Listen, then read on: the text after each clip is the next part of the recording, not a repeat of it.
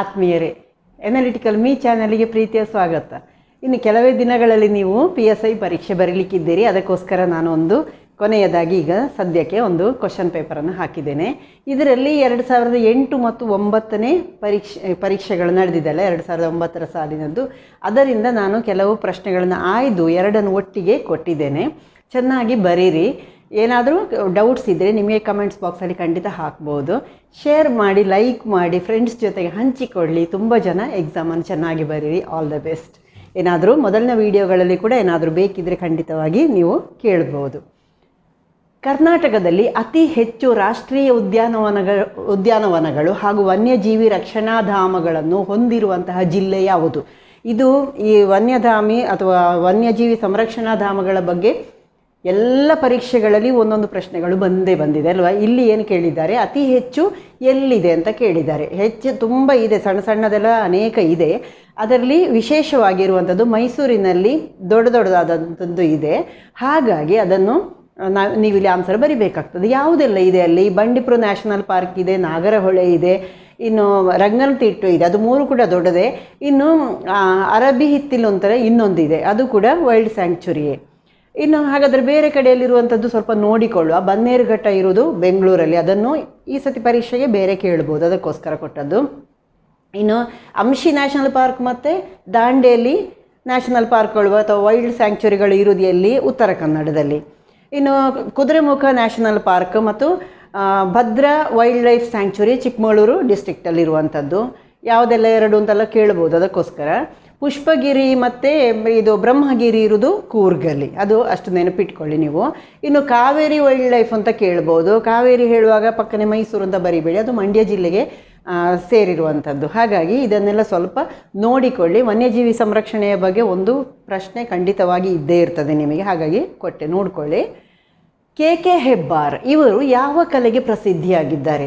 ಎಲ್ಲಿಯವರು ಇವರು? ಉಡುಪಿಯವರು. ಇವರು ಚಿತ್ರಕಲೆಯಲ್ಲಿ ತುಂಬ ಫೇಮಸ್ ಆದರು. ಇವರ ಪೂರ್ತಿ ಹೆಸರು ಕಟ್ಟಿಂಗೇರಿ ಕೃಷ್ಣ ಹೆಬ್ಬಾರ್ ಅಂತ. ಇದು ಏನು ವಿಶೇಷತೆ ಇವರದ್ದು ಅಂದರೆ, ಭಾರತ ದೇಶದ ಇತಿಹಾಸ ಇದೆಯಲ್ಲ, ಅಥವಾ ಭಾರತ ದೇಶದ ಪೌರಾಣಿಕತೆ ಇದೆಯಲ್ಲ, ಅದನ್ನೇ ತಗೊಂಡು ಅವರು ಚಿತ್ರದ, ಚಿತ್ರಕಲೆಯಲ್ಲಿ ಅಷ್ಟು ಫೇಮಸ್ ಆದದ್ದು. ಇವರಿಗೆ ಇವರು ಡಿವೋಷನಲ್ ಡ್ಯಾನ್ಸ್ ಫಿಶ್ ಹೌಲ್ ಆಮೇಲೆ ಡ್ಯಾನ್ಸಿಂಗ್ ಲೇಡಿ ಇದೆಲ್ಲ ಅವರ ಫೇಮಸ್ ಚಿತ್ರಕಲೆಗಳು. ಅಂದರೆ ಅದು ಒಂದು ಥೀಮ್ ತಗೊಂಡು ಅವರು ಚಿತ್ರ ಮಾಡ್ತಾಯಿದ್ರು ಅದರಲ್ಲಿ ವಿಷಯ ಇದ್ದದ್ದು ಬರೀ ಭಾರತ. ವಿಷಯಗಳು.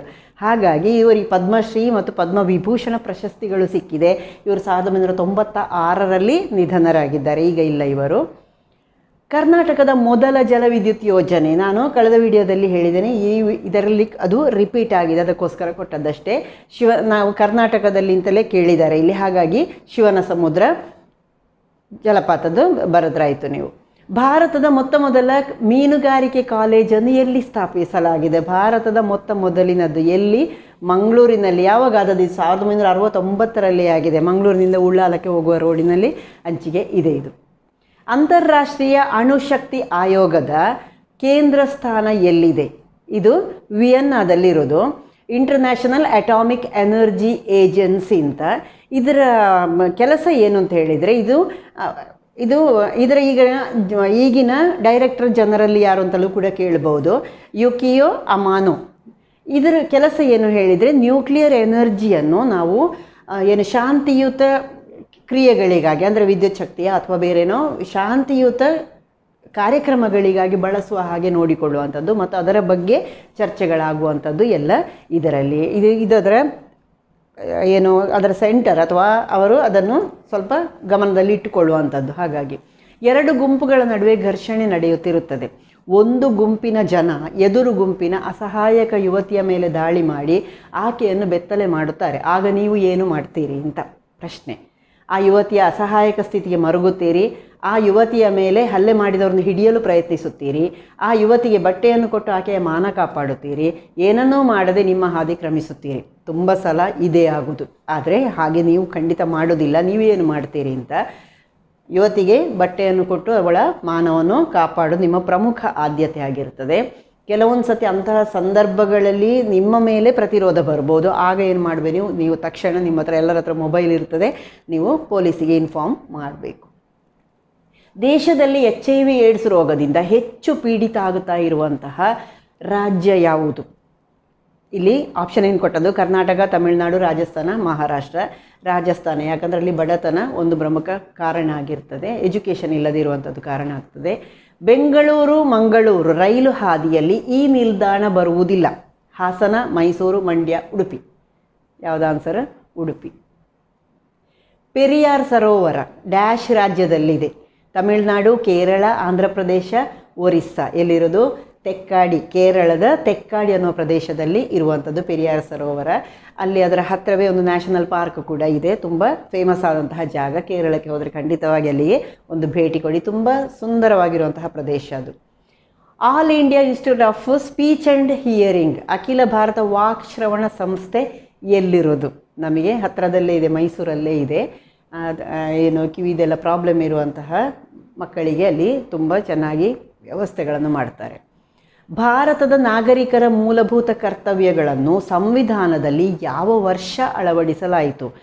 ನಿಮಗೆ ಎಲ್ಲರಿಗೂ ಗೊತ್ತಿರುವಂಥದ್ದು ಸಾವಿರದ ಒಂಬೈನೂರ ಎಪ್ಪತ್ತ ಆರರಲ್ಲಿ ಮೂಲಭೂತ ಕರ್ತವ್ಯಗಳನ್ನು ಅಳವಡಿಸಿದ್ದು, ನಿಜವಾಗಿ ಯಾವಾಗ ಸಂವಿಧಾನವನ್ನು ನಾವು ಯಾವಾಗ ಅಂಗರಿಸಿ, ಅಂಗೀಕರಿಸಿದ್ದೇವೆ? ಇಪ್ಪತ್ತಾರು ನವೆಂಬರ್ ಸಾವಿರದ ಒಂಬೈನೂರ ನಲವತ್ತೊಂಬತ್ತರಲ್ಲಿ ಅಂಗೀಕರಿಸಿದ್ದೇವೆ.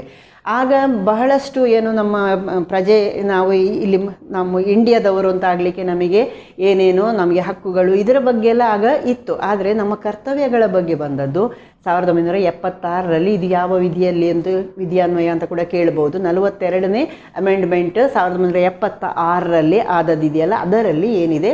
ನಮ್ಮ ಹಕ್ಕುಗಳು, ನಮ್ಮ ಮೂಲಭೂತ ಕರ್ತವ್ಯಗಳ ಬಗ್ಗೆ ಇದೆ. ಗಿಡದ ಯಾವ ಭಾಗದಿಂದ ಅರಸಿನವನ್ನು ಪಡೆಯಲಾಗ್ತದೆ. ಅರಸಿನ ಎಲ್ಲರ ಮನೆಯಲ್ಲಿ ಬಳಸುವಂಥದ್ದು ಇದು ಗಿಡದ ಯಾವ ಭಾಗದಿಂದ? ಇದು ಕಾಂಡದ ಮಾರ್ಪಾಟು, ಶುಂಠಿ ಕೂಡ ಕಾಂಡದ ಮಾರ್ಪಾಟು. ನಾವು ಉಸಿರಾಡುವ ಗಾಳಿಯಲ್ಲಿರುವ ಆಮ್ಲಜನಕದ ಅಂದಾಜು ಪ್ರಮಾಣ ಎಷ್ಟು? ಇದು ಇಲ್ಲಿ ಆಪ್ಷನ್ ಕೊಟ್ಟದ್ದು ಒಂದು ಒಂದು ಪರ್ಸೆಂಟು ಇಪ್ಪತ್ತು ಪರ್ಸೆಂಟ್ ಅರವತ್ತು ಪರ್ಸೆಂಟ್ ಎಂಬತ್ತು ಪರ್ಸೆಂಟ್ ಅಂತ ಕೊಟ್ಟಿದ್ದಾರೆ. ಸಾಮಾನ್ಯವಾಗಿ ಇಪ್ಪತ್ತೊಂದು ಪರ್ಸೆಂಟ್ ಅದಕ್ಕೆ ನಿಯರೆಸ್ಟ್ ಹತ್ತಿರ ಯಾವುದಿದೆ? ಇಪ್ಪತ್ತು ಪರ್ಸೆಂಟ್ ಇದೆ. ಅದೇ ಆನ್ಸರ್ ಬಾಯಿ ಮತ್ತು ಕಾಲಿನ ರೋಗ, ಅಂದರೆ ಕಾಲು ಬಾಯಿ ರೋಗ ಇದೆಯಲ್ಲ, ಸಾಮಾನ್ಯವಾಗಿ ಕಂಡುಬರುವುದು ಯಾವುದರಲ್ಲಿ? ಎ, ಜಾನುವಾರುಗಳಲ್ಲಿ, ಬಿ, ಜಾನುವಾರು ಮತ್ತು ಕುರಿಗಳಲ್ಲಿ, ಸಿ, ಜಾನುವಾರು ಮತ್ತು ಹಂದಿಗಳಲ್ಲಿ, ಡಿ, ಜಾನುವಾರು, ಕುರಿಗಳು ಮತ್ತು ಹಂದಿಗಳಲ್ಲಿ. ಯಾವುದರಲ್ಲಿ? ಜಾನುವಾರುಗಳು ಮೇಲೆ ಕಂಡ ತಕ್ಷಣ, ಓ, ಜಾನುವಾರುಗಳಿಗೆ ಬರೋದು ಟಿಕ್ ಹಾಕಿಬಿಡಬೇಡಿ. ಕೆಳಗಿನ ಆಪ್ಷನ್ಸ್ ನೋಡಿ. ಇಲ್ಲಿ ಜಾನುವಾರಿಗೆ, ಕುರಿಗಳಿಗೆ, ಹಂದಿಗಳಿಗೆ ಎಲ್ಲವೂ ನಾಲ್ಕು ಕಾಲಿನ ಪ್ರಾಣಿಗಳವುಗಳಿಗೆ ಎಲ್ಲವಕ್ಕೂ ಅವ ಅದು ಒಸಡುಗಳ ಮಧ್ಯದಲ್ಲೆಲ್ಲ ಹುಣ್ಣಾಗುವುದು ಅಂತೆಲ್ಲ ಹೇಳಿದ್ದೇನಲ್ಲ ಅದೇ ರೋಗವನ್ನು ಹೇಳಿದ್ದಿಲ್ಲಿ. ಮೊಟ್ಟೆಗಳನ್ನು ಇಡುವ ಸಸ್ತನಿ ಯಾವುದು? ನಾನು ಕಳೆದ ವಿಡಿಯೋದಲ್ಲಿ ಹೇಳಿದ್ದೇನೆ, ಅದರಲ್ಲಿಯೂ ಬಂದಿದೆ ಪ್ರಶ್ನೆ. ಅದಕ್ಕೆ ಸಂಬಂಧಪಟ್ಟ ಹಾಗೆ ಪ್ರಶ್ನೆ ಬಂದಿದೆ. ಮೊಟ್ಟೆಯನ್ನು ಇಡುವಂತಹ ಸಸ್ತನಿ ಯಾವುದು? ಪ್ಲಾಟಿಪಸ್. ಕೆಳಕಂಡ ಯಾವ ಕೋಳಿಯ ತಳಿ ಅತಿ ಹೆಚ್ಚು ಮೊಟ್ಟೆಗಳನ್ನು ಇಡ್ತದೆ? ಜಾಸ್ತಿ ಪ್ರಮಾಣದಲ್ಲಿ ಮೊಟ್ಟೆ ಇಡುವಂಥದ್ದು ಯಾವುದು? ಬಿಳಿ ಲೆಗ್ ಹಾರ್ನ್. ವಿಶ್ವದಲ್ಲಿ ಅತ್ಯಂತ ಚಿಕ್ಕ ಹಕ್ಕಿ ಯಾವುದು? ಇದು ತುಂಬ ಸಲ ಬಂದಂತಹ ಪ್ರಶ್ನೆ, ಹಮಿಂಗ್ ಬರ್ಡ್. ಇದರಲ್ಲಿ ಇನ್ನೆರಡು ಪ್ರಶ್ನೆಗಳು, ಇನ್ನು ಮೂರು ಕೂಡ ನಿಮಗೆ ಆಪ್ಷನ್ಗಳು ಬೇರೆ ರೀತಿಯ ಪ್ರಶ್ನೆಗಳಿಗೆ ಬರುವಂಥದ್ದು. ಗುಬ್ಬಚ್ಚಿ ಗುಬ್ಬಚ್ಚಿ ಈಗ ಕಡಿಮೆ ಆಗುತ್ತಾ ಇದೆ ಕಾರಣ ಏನು ಅಂತ, ವಿಕಿರಣ ಮಾಲಿನ್ಯ ಇದ್ದ ಕಾರಣ ಅದು ಪ್ರಮಾಣ ಕಡಿಮೆ ಆಗುತ್ತಾ ಇದೆ. ಎಲ್ಲಿಯೂ ಗುಬ್ಬಚ್ಚಿ ಕಾಣಿಸ್ಲಿಕ್ಕೆ ಸಿಗ್ತಾ ಇಲ್ಲ, ಅದು ಒಂದು. ಅಪಾಯದ ಅಂಚಿಗೆ ಹೋಗಿದೆ ಅದು. ಉಷ್ಟ್ರ ಪಕ್ಷಿ ವೇಗವಾಗಿ ಓಡುವುದಕ್ಕೆ ಇದಕ್ಕೆಲ್ಲ ಕೇಳುವಂತಹ ಪ್ರಶ್ನೆ. ನಡೆದಾಡುವ ಪಕ್ಷಿ, ದೊಡ್ಡ ಪಕ್ಷಿ, ಉಷ್ಟ್ರ ಪಕ್ಷಿ. ಆರ್ಕಿಟೆಕ್ಟರ್ನು ಟರ್ನ್ ಕೂಡ ಕೇಳುವಂಥದ್ದು. ಯಾವುದಕ್ಕೆ? ಅತೀ ಹೆಚ್ಚು ದೂರ ವಲಸೆ ಹೋಗುವಂತಹ ಪಕ್ಷಿ ಯಾವುದು ಅಂತ ಕೇಳಿದರೆ ಆರ್ಕ್ಟಿಕ್ ಟರ್ನ್ ಇದು ಕೂಡ ಪರೀಕ್ಷೆಯ ಕೇಳುವ ಪ್ರಶ್ನೆ. ಹಾಗಾಗಿ ಇದು ಎಲ್ಲ ಆಪ್ಷನ್ಸ್ ಕೂಡ ತುಂಬ ಇಂಪಾರ್ಟೆಂಟ್ ಈ ಕೆಳಗಿನ ಯಾವ ಗುಂಪಿನ ರಕ್ತದವರು, ಯಾರಿಗೆ ಬೇಕಾದರೂ ತನ್ನ ರಕ್ತವನ್ನು ದಾನ ಮಾಡಬಹುದು? ನಾನು ಬ್ಲಡ್ ಬಗ್ಗೆ ವಿಡಿಯೋ ಹಾಕಿದ್ದೇನೆ. ಖಂಡಿತವಾಗಿ ಅದನ್ನು ನೋಡಿ, ಅದರಲ್ಲಿ ಬಹಳಷ್ಟು ವಿಷಯಗಳು ನಿಮಗೆ ಪರೀಕ್ಷೆ ಬರುವಂಥದ್ದಿದೆ ಇಲ್ಲಿ ನಾನು ನೇರವಾಗಿ ಉತ್ತರಕ್ಕೆ ಹೋಗ್ತೇನೆ. ಯಾವ, ಯಾರು ದಾನ ಮಾಡಬಹುದಾದವರು? ಓ ಗುಂಪಿನವರು. A, B ಗುಂಪಿನವರು? ತಕ್ಕೊಳ್ಬಹುದು. ಎಲ್ಲ ಯಾರಿಂದ ಬೇಕಾದ್ರೆ ತಕ್ಕೊಳ್ಳುವಂಥವರು ಆಭರಣಗಳನ್ನು ಮಾಡುವಾಗ ಚಿನ್ನಕ್ಕೆ ಸಾಮಾನ್ಯವಾಗಿ ಬೆರೆಸುವಂತಹ ಲೋಹ ಯಾವುದು? ನಾನು ಹೇಳಿದ್ದೇನೆ ಚಿನ್ನ, ಶುದ್ಧ ಚಿನ್ನ ಆಭರಣದಲ್ಲಿ ಯಾಕೆ ಉಪಯೋಗ ಮಾಡುವುದಿಲ್ಲ ಅಂತ ಕೂಡ ಪ್ರಶ್ನೆ ಬರ್ಬೋದು. ಅದು ಬಹಳ ಬೇಗನೆ ಕಟ್ ಆಗ್ತದೆ ಅಂದರೆ ಅದಕ್ಕೆ ಬಿದುರತೆ ಇದೆ. ಅದಕ್ಕೆ ಕಠಿಣತೆ ಇಲ್ಲ. ಕಠಿಣತೆ ಬರಲಿಕ್ಕೆ ಯಾವುದನ್ನು ಸೇರಿಸ್ತಾರೆ ಅಂತಲೂ ನಿಮಗೆ ಪ್ರಶ್ನೆ ಕೇಳ್ಬೋದು. ಇಲ್ಲಿ ಯಾವುದನ್ನು ಸೇರಿಸ್ತಾರೆ ಅಂತ ಕೇಳಿದ್ದಾರೆ. ಒಟ್ಟಿನಲ್ಲಿ ಆನ್ಸರ್ ಯಾವುದು? ತಾಮ್ರ. ಪ್ಲಾಸ್ಟಿಕ್ ಉದ್ದಿಮೆಯಲ್ಲಿ ಪಿ ವಿ ಸಿ ಎಂದು ಕರೆಯಲಾಗುವ ವಸ್ತು ಯಾವುದು? ಪಿ ವಿ ಸಿ ಇದು ಕೂಡ ತುಂಬ ಬೇರೆ ಬೇರೆ ಪರೀಕ್ಷೆಗಳಿಗೆ ಬಂದಿದೆ. ಇದು ಐ ಎ ಎಸ್ ಇಂದ ಹಿಡಿದು G P S T R ಎಲ್ಲ ಪರೀಕ್ಷೆಗಳಿಗೆ ಕೇಳುವ ಪ್ರಶ್ನೆ ಇದು. ಹಾಗಾಗಿ ಪಿ ವಿ ಸಿ ಯಾಕೆಂದರೆ ನಾವು ಪಿ ವಿ ಸಿ ಅನೇಕ ವಸ್ತುಗಳನ್ನು ಬಳಸ್ತೇವೆ. ಪಿ ವಿ ಸಿ ಪೈಪು ಒಂದೇ ಅಲ್ಲ. ಪಿ ವಿ ಸಿದ ಅನೇಕ ವಸ್ತುಗಳನ್ನು ನಾವು ಬಳಸುವ ಕಾರಣ, ಅಂದರೆ ಪ್ಲಾಸ್ಟಿಕ್ ಅದು ಒಂದು ವಿಧದ ಪ್ಲಾಸ್ಟಿಕ್ ಅದು ಆ್ಯಕ್ಚುಲಿ ಇದು ಪಾಲಿವಿನೈಲ್ ಕ್ಲೋರೈಡ್ ಸಮುದ್ರದಲ್ಲಿ ಸಮುದ್ರದ ನೀರಿನಲ್ಲಿ ಅತಿ ಹೆಚ್ಚಾಗಿ ಸಿಗುವಂತಹ ವಸ್ತು ಯಾವುದು? ಪೊಟ್ಯಾಷಿಯಂ ಕ್ಲೋರೈಡ್, ಸಾಮಾನ್ಯ ಉಪ್ಪು, ಮರಳು, ಕ್ಯಾಲ್ಸಿಯಂ ಕಾರ್ಬೋನೇಟ್. ಯಾವುದು? ಸೋಡಿಯಂ ಕ್ಲೋರೈಡ್ ಅಥವಾ ಸಾಮಾನ್ಯ ಉಪ್ಪು. ವಿಟಮಿನ್ ಸಿ ಎನ್ನುವುದು ಯಾವುದನ್ನು ಅಂತ? ಇಲ್ಲಿ ಎಸಿಟಿಕ್ ಆಮ್ಲ, ಸಿಟ್ರಿಕ್ ಆಮ್ಲ, ಲ್ಯಾಕ್ಟಿಕ್ ಆಮ್ಲ ಮತ್ತು ಎಸ್ಕಾರ್ಬಿಕ್ ಆಮ್ಲ ಅಂತ ಆಪ್ಷನ್ ಕೊಟ್ಟಿದ್ದಾರೆ. ಯಾವುದು ಆನ್ಸರ್? ಎಸ್ಕಾರ್ಬಿಕ್ ಆಮ್ಲ. ವಿಟಮಿನ್ಗಳದ್ದು ಹಾಗೆ ಬಹಳಷ್ಟು ಪ್ರಶ್ನೆಗಳನ್ನು ಕೇಳ್ತಾರೆ. ನಾನು ವಿಟಮಿನ್ಗಳ ಬಗ್ಗೆ ಕೂಡ ವಿಡಿಯೋ ಹಾಕಿದ್ದೇನೆ. ನೀವು ಸಬ್ಸ್ಕ್ರೈಬ್ ಮಾಡದಿದ್ದವರು ಸಬ್ಸ್ಕ್ರೈಬ್ ಮಾಡಿ. ನನ್ನ ಮೊದಲಿನ ವಿಡಿಯೋಗಳನ್ನು ನೋಡಿ, ಅದರಲ್ಲಿ ಪರೀಕ್ಷೆಗೆ ಹೇಗೆ ಕೇಳ್ತಾರೆ, ಅದೇ ಥರವೇ ನಾನು ಪ್ರಶ್ನೆಗಳನ್ನು ಹಾಕ್ತಾ ಹೋಗಿದ್ದೇನೆ. ಖಂಡಿತವಾಗಿ ನೋಡಿ ಅದನ್ನು. ಹೈಡ್ರೋಕಾರ್ಬನ್ಗಳನ್ನು ಎಷ್ಟು ಮುಖ್ಯ ರೂಪಗಳಲ್ಲಿ ವಿಂಗಡಿಸಲಾಗಿದೆ? ಹೈಡ್ರೋಕಾರ್ಬನ್ ಬಗ್ಗೆನೂ ನಾನು ವಿಡಿಯೋ ಹಾಕಿದ್ದೇನೆ. ಅದರಲ್ಲಿ ನಾನು ಬಹಳಷ್ಟು ಕ್ವಶನ್ಸನ್ನು ಹಾಕಿದ್ದೇನೆ. ಯಾವ ರೀತಿಯಲ್ಲಿ ಪ್ರಶ್ನೆಗಳನ್ನು ಕೇಳ್ಬೋದು ಅಂತ ಕೂಡ ನಾನು ಹೇಳ್ತಾ ಹೋಗಿದ್ದೇನೆ. ಇದು ಇದನ್ನೇ ನಾನು ಅಲ್ಲಿ ಡಿಸ್ಕಸ್ ಮಾಡಿದ್ದೇನೆ. ಎರಡು ವಿಧವಾಗಿ, ಪ್ರಮುಖವಾಗಿ ಎರಡು ಗುಂಪಾಗಿ ವಿಂಗಡಿಸ್ತೇವೆ ಒಂದು ಪರ್ಯಾಪ್ತ, ಅಪರ್ಯಾಪ್ತ. ಅದರಲ್ಲಿ ಮತ್ತೆ ಗುಂಪುಗಳಾಗ್ತಾ ಹೋಗ್ತದೆ. ಪ್ರಮುಖವಾಗಿ ಎರಡು ಗುಂಪು, ಪರ್ಯಾಪ್ತ ಹೈಡ್ರೋಕಾರ್ಬನ್, ಸ್ಯಾಚುರೇಟೆಡ್ ಹೈಡ್ರೋಕಾರ್ಬನ್ ಮತ್ತು ಅನ್ಸ್ಯಾಚುರೇಟೆಡ್ ಹೈಡ್ರೋಕಾರ್ಬನ್ಸ್. ಎರಡು ವಿಧ ಬಹಳ ಪ್ರಮುಖವಾಗಿ. ಶಬ್ದ ಮತ್ತು ಬೆಳಕಿನ ಅಲೆ, ಅಲೆಗಳ ಸಮನಾದ ಹೋಲಿಕೆ ಏನೆಂದರೆ ಇಲ್ಲಿ ವ್ಯತ್ಯಾಸಗಳು ನಿಮಗೆ ಗೊತ್ತಿದೆ. ಅದಕ್ಕೆ ಮಾಧ್ಯಮ ಬೇಕು, ಇದಕ್ಕೆ ಮಾಧ್ಯಮ ಬೇಡ, ಅದನ್ನೆಲ್ಲ ಹೇಳ್ತೇವೆ ನೀವು. ಇಲ್ಲಿ ಏನು ಕೇಳಿದ್ದು? ಸಮನಾದ ಹೋಲಿಕೆ ಒಂದು ಇದೆ, ಯಾವುದು ಅಂತ ಕೇಳಿದ್ದು. ಎರಡು ಅಡ್ಡಲೆಗಳಾಗಿರ್ತ, ಆಗಿರ್ತದೆ, ಎರಡು ನೀಳಲೆಗಳಾಗಿರುತ್ತದೆ ಎರಡನ್ನು ಶ್ರೇಣಿಗಳಾಗಿ ಒಡೆಯಬಹುದು, ಎರಡನ್ನು ಧ್ರುವೀಕರಿಸಬಹುದು. ಯಾವುದು ಆನ್ಸರ್ ಇಲ್ಲಿ? ಎರಡನ್ನು ಶ್ರೇಣಿಗಳಾಗಿ ಒಡೆಯಬಹುದು. ಅಂದರೆ ಇಲ್ಲಿ ಶ್ರೇಣಿ ಹೇಳಿದ್ದೇನನ್ನ ಬೇರೆ ಬೇರೆ, ತರಂಗಾಂತರ ಇರುವಂಥದ್ದಾಗಿ ಅದನ್ನು ಮಾಡಲಿಕ್ಕೆ ಆಗ್ತದೆ ಅಂತ ಅಷ್ಟೇ. ಹವಾಮಾನ ಬದಲಾವಣೆ ಬಗ್ಗೆ ವಿಶ್ವಸಂಸ್ಥೆಯಿಂದ ಯೋಜಿತವಾದ ಅಂತಾರಾಷ್ಟ್ರೀಯ ಸಮ್ಮೇಳನ ಇತ್ತೀಚೆಗೆ ಇತ್ತೀಚೆಗೆ ಅಂದರೆ ಇದು ಎರಡು ಸಾವಿರದ ಎಂಟರ ಪ್ರಶ್ನೆ ಪತ್ರಿಕೆ, ಎರಡು ಸಾವಿರದ ಏಳರಲ್ಲಿ ಎಲ್ಲಿ ನಡೆಯಿತು ಅಂತ ಕೇಳಿದ್ದು ಕ್ಯೋಟೋ. ಪೃಥ್ವಿಯು ಸೂರ್ಯನಿಂದ ಅತಿ ಹೆಚ್ಚು ದೂರ ಈ ದಿನಾಂಕದಂದು ಬರುತ್ತದೆ. ಯಾವಾಗ? ಜುಲೈ ನಾಲ್ಕು. ಮಾನವ ಹಕ್ಕುಗಳಲ್ಲಿ ಈ ಹಕ್ಕು ಸೇರಿಲ್ಲ. ಸ್ವಾತಂತ್ರ್ಯದ ಹಕ್ಕು, ಜೀವದ ಹಕ್ಕು, ಗೌರವ ಬಾರ್ ಘನತೆಯ ಹಕ್ಕು, ಚುನಾವಣೆಯಲ್ಲಿ ಮತ ಚಲಾಯಿಸುವ ಹಕ್ಕು. ಈ ನಾಲ್ಕು ಹಕ್ಕುಗಳನ್ನು ಕೊಟ್ಟಿದ್ದಾರೆ. ಇದರಲ್ಲಿ ಕೇಳಿದ್ದೇನ ಮಾನವ ಹಕ್ಕುಗಳಲ್ಲಿ ಕೇಳಿದ್ದು, ಚುನಾವಣೆ ಹಕ್ಕು ಇದೆ ಅಂತ ಹೇಳಬೇಡಿ, ಚುನಾವಣೆ ಹಕ್ಕು ಒಂದಿಲ್ಲ, ಅದು ಉಳಿದದೆಲ್ಲ ಉಂಟು. ಕರ್ನಾಟಕ ರಾಜ್ಯದ ಈ ಜಿಲ್ಲೆಯಲ್ಲಿ ರಾಷ್ಟ್ರೀಯ ಹೆದ್ದಾರಿ ಹಾದು ಹೋಗುವುದಿಲ್ಲ. ರಾಷ್ಟ್ರೀಯ ಹೆದ್ದಾರಿ ಹೋಗದೇ ಇರುವಂತಹ ಡಿಸ್ಟ್ರಿಕ್ಟ್ ಯಾವುದು ಅಂತ ಕೇಳಿದ್ದಿಲ್ಲಿ? ಯಾವುದು? ಕೊಡಗು. ಕಟ್ಟಕಡೆಯವರೆಗೂ ಭಾರತದ ಒಕ್ಕೂಟವನ್ನು ಸೇರಲು ತಿರಸ್ಕರಿಸಿದ ರಾಜಾಳ್ವಿಕೆಯಲ್ಲಿದ್ದಂತಹ ಪ್ರದೇಶ ಯಾವುದು? ನಮಗೆ ಸಾವಿರದ ಒಂಬೈನೂರ ನಲವತ್ತ ಏಳು ಆಗಸ್ಟ್ ಹದಿನೈದಕ್ಕೆ ನಮಗೆ ಸ್ವಾತಂತ್ರ್ಯ ಬಂದರೂ ಕೂಡ ಒಂದು ಪ್ರದೇಶದ ಒಂದು ವಿಭಾಗವನ್ನು ನಮಗೆ ಸಾವಿರದ ಒಂಬೈನೂರ ನಲವತ್ತ ಎಂಟು ನಲವತ್ತೊಂಬತ್ತರ ತನಕವೂ ಅದನ್ನು ನಮ್ಮ ಜೊತೆಗೆ ಸೇರಿಸಿಕೊಳ್ಳಿಕ್ಕೆ ಆಗಲಿಲ್ಲ. ಯಾಕೆ? ತುಂಬ ಫೋರ್ಸ್ಫುಲಿ ಅದನ್ನು ನಾವು ಇಂಡಿಯಾದಲ್ಲಿ ಸೇರಿಸಿಕೊಂಡದ್ದು ಯಾವ ಪ್ರದೇಶ ಅದು? ಜುನಾಗಢ್, ಊಜ್ಕೋಟ್, ಹೈದರಾಬಾದ್, ಕಾಶ್ಮೀರ. ನಿಮಗೆ ಗೊತ್ತಿರುವಂಥದ್ದು ಯಾವುದಿದು ಹೈದರಾಬಾದ್. ನಿಜಾಮರ ಆಳ್ವಿಕೆಯಲ್ಲಿದ್ದದಲ್ವ ಇದು? ಹದಿನೇಳು ಸೆಪ್ಟೆಂಬರ್ ಸಾವಿರದ ಒಂಬೈನೂರ ನಲವತ್ತ ಎಂಟಕ್ಕೆ ಬೈ ಫೋರ್ಸ್ ಅದು ನಾವು ತೆಕ್ಕೊಳ್ಳುವ ಹಾಗೆ ಆದದ್ದು. ಮಾಡು ಇಲ್ಲವೇ ಮಡಿ. ಈ ಘೋಷಣೆಯನ್ನು ಮಾಡಿದವರು ಯಾರು? ಇದು ಯಾರು? ಗಾಂಧೀಜಿ, ನೆಹರು ಬಾಲಗಂಗಾಧರ ತಿಲಕ್, ಸುಭಾಷ್ ಚಂದ್ರ ಬೋಸ್. ಇಷ್ಟು ಜನರಲ್ಲಿ ಯಾರು ಹೇಳಿದ್ದು? ಗಾಂಧೀಜಿಯವರು. ಯಾವಾಗ? ಆಗಸ್ಟ್ ಏಳು ಸಾವಿರದ ಒಂಬೈನೂರ ನಲವತ್ತೆರಡಕ್ಕೆ ಒಂದು ಎ ಸಿ ಸಿ ಸಭೆ ಆದ ನಂತರ, ಅಥವಾ ಆ ಸಭೆಯಲ್ಲಿಯೇ ಅವರು ಆ ಒಂದು ನಿರ್ಧಾರಕ್ಕೆ ಬಂದದ್ದು. ಸ್ವಾತಂತ್ರ್ಯ ಹೋರಾಟದ ಬಗ್ಗೆ. ಸದ್ಯದ ದರಗಳ ಪ್ರಕಾರ ಒಂದು ಅಮೇರಿಕನ್ ಡಾಲರಿಗೆ ಅಂದಾಜು ಎಷ್ಟು ಭಾರತೀಯ ರೂಪಾಯಿಗಳಾಗ್ತದೆ?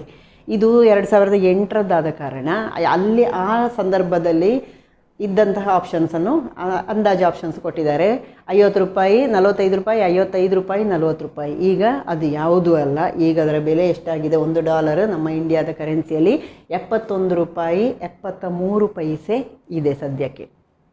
ಇದರಲ್ಲಿ ಯಾರಿಗೆ ಭಾರತ ರತ್ನ ಪ್ರಶಸ್ತಿ ದೊರಕಿಲ್ಲ? ಭಾರತ ರತ್ನ ಪ್ರಶಸ್ತಿಯ ಬಗ್ಗೆ ಕೂಡ ಯಾರಿಗೆ, ಯಾವಾಗ, ಯಾಕೆ ಕೊಟ್ಟಿದ್ದಾರೆ ಅನ್ನೋದನ್ನು ಕೂಡ ನಾನು ವಿಡಿಯೋ ಹಾಕಿದ್ದೇನೆ. ಅದನ್ನು ಖಂಡಿತವಾಗಿ ನೋಡಿಕೊಳ್ಳಿ. ಯಾಕಂದರೆ ಭಾರತ ರತ್ನ ಪ್ರಶಸ್ತಿಯದ್ದು ಒಂದು ಪ್ರಶ್ನೆ ಖಂಡಿತವಾಗಿ ನಿಮಗೆ ಎಲ್ಲ ಪ್ರಶ್ನೆ ಪತ್ರಿಕೆಗಳಲ್ಲಿ ನೀವು ನೋಡ್ತೀರಿ. ಹಾಗಾಗಿ ಅದನ್ನು ಸ್ವಲ್ಪ ನೋಡಿಕೊಳ್ಳಿ. ಇಲ್ಲಿ ಏನು ಆಪ್ಷನ್ ಕೊಟ್ಟದ್ದು? M S Subbulakshmi, Pandit Ravi Shankar, Lata Mangeshkar. ಇವರು ಮೂವರಿಗೂ ಸಿಕ್ಕಿದೆ. ಹಾಗಾದರೆ ಸಿಗದೇ ಇದ್ದದ್ದು ಯಾರಿಗೆ? ಪರ್ವೀನ್ ಸುಲ್ತಾನ್ ಅವರಿಗೆ ಕೊಡಲಿಲ್ಲ. ನೋಬೆಲ್ ಪ್ರಶಸ್ತಿಯನ್ನು ಎಷ್ಟು ವಿಷಯಗಳಿಗೆ ಕೊಡಲಾಗ್ತದೆ? ಈ ನೋಬೆಲ್ ಪ್ರಶಸ್ತಿಯ ಬಗ್ಗೆನೂ ನಾನೊಂದು ವಿಡಿಯೋ ಹಾಕಿದ್ದೇನೆ. ಖಂಡಿತವಾಗಿ ಈ ವ, ಈ ವರ್ಷ ಸಿಕ್ಕಿದಂತಹ ನೋಬೆಲ್ ಪ್ರಶಸ್ತಿಯ ಬಗ್ಗೆನೂ ಕೇಳ್ಬೋದು. ಅದರ ಬಗ್ಗೆ ನಾನು ಹಾಕಿದ್ದು. ಎಷ್ಟು ವಿಷಯಗಳಿಗೆ ನಾವು ನೋಬೆಲ್ ಪ್ರಶಸ್ತಿಯನ್ನು ಕೊಡ್ತಾರೆ ಅಂತ. ಯಾವುದು? ಆರು ವಿಷಯಗಳಿಗೆ ಕೊಡ್ತಾರೆ. ಯಾವುದೆಲ್ಲ ಆರು ವಿಷಯಗಳು? ಹಾಗಾದರೆ ಹ್ಯುಮ್ಯಾನಿಟಿ ಇನ್ ಕೆಮಿಸ್ಟ್ರಿ ಅಂದರೆ ಮಾನವೀಯತೆ, ಕೆಮಿಸ್ಟ್ರಿಯಲ್ಲಿ ಮಾನವೀಯತೆಗೆ ಹೆಚ್ಚು ಒತ್ತು ಕೊಟ್ಟಿದ್ದಾರೆ. ಇಕನಾಮಿಕ್ಸ್ ಅನಂತರ ಲಿಟ್ರೇಚರ್ ಶಾಂತಿ ಪ್ರಶಸ್ತಿ, ಭೌತಶಾಸ್ತ್ರದಲ್ಲಿ ಫಿಸಿಯಾಲಜಿ ಅಥವಾ ಮೆಡಿಸಿನ್ ಅಂದರೆ ಜೀವವಿಜ್ಞಾನದಲ್ಲಿ ಇರಬಹುದು ಅಥವಾ ಮೆಡಿಸಿನ್ನಿನ ಬಗ್ಗೆನೂ ಇರಬಹುದು. ಒಟ್ಟು ಆರು ವಿಷಯಗಳಿಗೆ ನೋಬೆಲ್ ಪ್ರಶಸ್ತಿಯನ್ನು ಕೊಡ್ತಾರೆ. ಗುಂಪಿಗೆ ಸೇರದವರನ್ನು ಗುರುತಿಸಿ. ಇಲ್ಲಿ ಐದು ಜನ ಪ್ರಸಿದ್ಧರಾದವರು, ನಾಲ್ಕು ಜನ ಪ್ರಸಿದ್ಧರಾದವರನ್ನು ಕೊಟ್ಟಿದ್ದಾರೆ. ಯಾರನ್ನೆಲ್ಲ? ಮೇಘನಾಥ್ ಸಹ, ವಿಕ್ರಮ್ ಸಾರಾಭಾಯಿ, ಶ್ರೀನಿವಾಸ ರಾಮಾನುಜನ್ ಮತ್ತು ಸಿ. ಸುಬ್ರಹ್ಮಣಿಯಮ್ಮನ್ನು ಕೊಟ್ಟಿದ್ದಾರೆ.